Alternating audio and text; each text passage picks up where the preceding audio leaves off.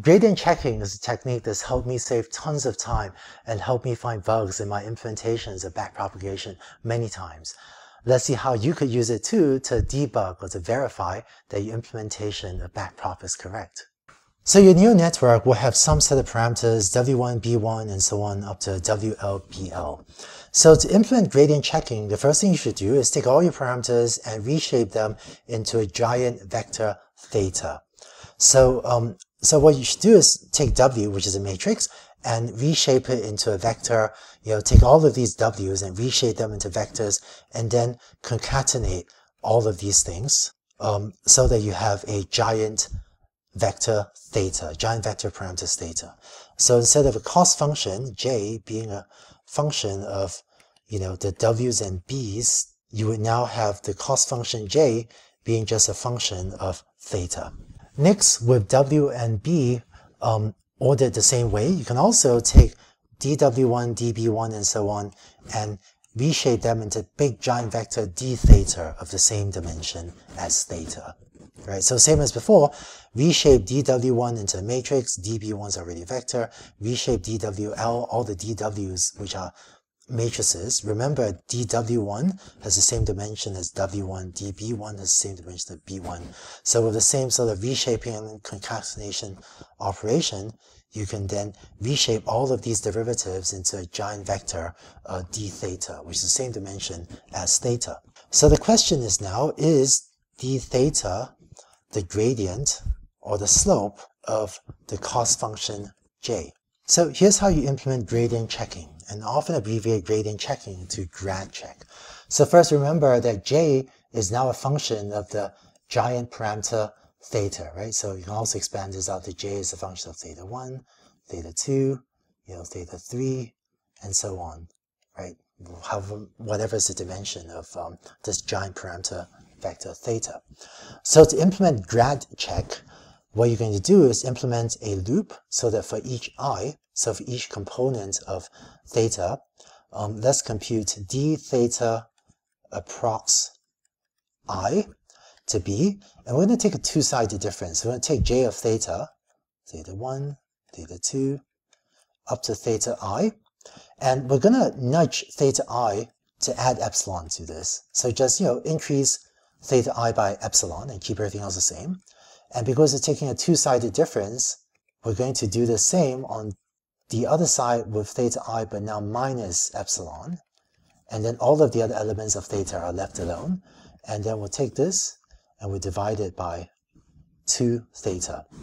And what we saw um, from the previous video is that this should be approximately equal to d theta i, uh, which, which is supposed to be the partial derivative of j with respect to, I guess, theta i, if d theta i is, you know, the derivative of the cost function j. So what you're going to do is you're going to compute this for every value of i, and at the end, you now end up with two vectors. You end up with this d theta approx, um, and this is going to be the same dimension as d theta, and both of these are in turn the same dimension as theta.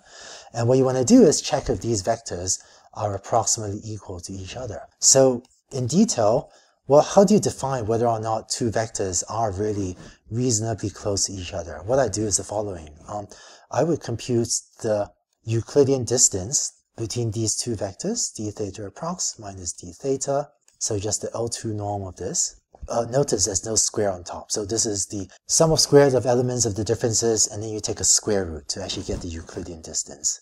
And then just to normalize by the lengths of these vectors, I divide by d theta approx plus d theta. Just take the Euclidean lengths of um, these vectors. And the rho for the denominator is just in case any of these vectors are really small or really large, you know, the denominator turns this um, formula into a ratio. So when you implement this in practice, I use epsilon equals maybe 10 to the minus 7, so you know 1e minus 7. And with this range of epsilon, if you find that this formula um, gives you a value like 10 to the minus 7 or smaller, then that's great. Uh, it means that your derivative approximation is very likely correct. You know, this is just very small value. If it's maybe on the range of 10 to the minus 5, I would uh, take a careful look. Maybe this is okay. Um, but I might double check the components of this vector and make sure that none of the components are too large. And if some of the components of this difference are very large, then maybe you have a bug somewhere. Um, and if this formula on the left is, you know, on the order of 10 to the minus 3, then I would worry. I would be much more concerned that maybe there's a bug somewhere. Uh, but you should really be getting values much smaller than 10 to the minus 3. Oh, and if it's any bigger than 10 to the minus 3, then I would be quite concerned. I would seriously worry about whether or not there's a bug. And I would then, um, you should then look at the individual components of theta to see, you know, if there's a specific value of i for which um, d theta approx i is very different from d theta i and use that to try to track down whether or not some of your derivative computations might be incorrect. And after some amount of debugging, if finally it ends up being this kind of very small value, then you probably have a correct implementation. So when implementing neural network, what often happens is I'll implement forward prop, implement back prop, and then I might find that this grad check gives a relatively big value, and then I would suspect that it must be a bug.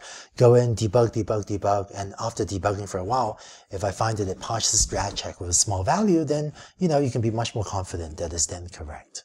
So you now know how gradient checking works. This has helped me find lots of bugs in my implementations of neural nets, and I hope it'll help you too. In the next video, I want to share with you some tips or some notes on how to actually implement gradient checking. Let's go on to the next video.